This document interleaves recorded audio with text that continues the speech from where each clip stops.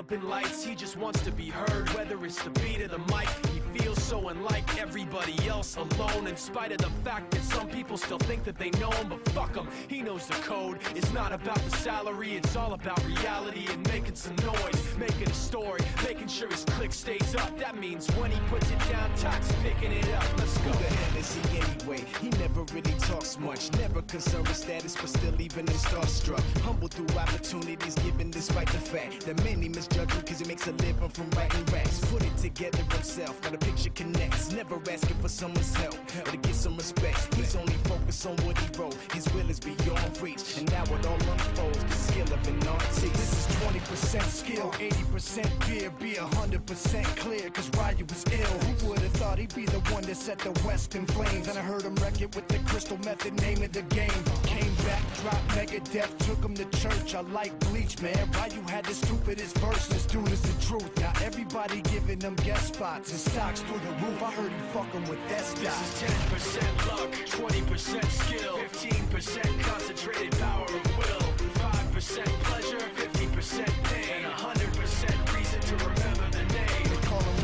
sick and he's spitting fire and Mike got him out the dryer, he's hot. Found him in Fort Minor with top, but a fucking nihilist porcupine. He's a prick, he's a cockpit type. Women wanna be within rappers, hope he gets shot. Eight years in the making, patiently waiting to blow. Now the record with your notice taking over the globe. He's got a partner in crime, this shit is equally dope. You won't believe the kind of shit that comes out of this kid's throat. Not your everyday on the block. He knows how to work with what he's got, making his way to the top. He don't think it's a comment on his name. People keep asking him, was it Giving that birth or does it stand for an acronym? No, he's living proof. Let him rock in the booth.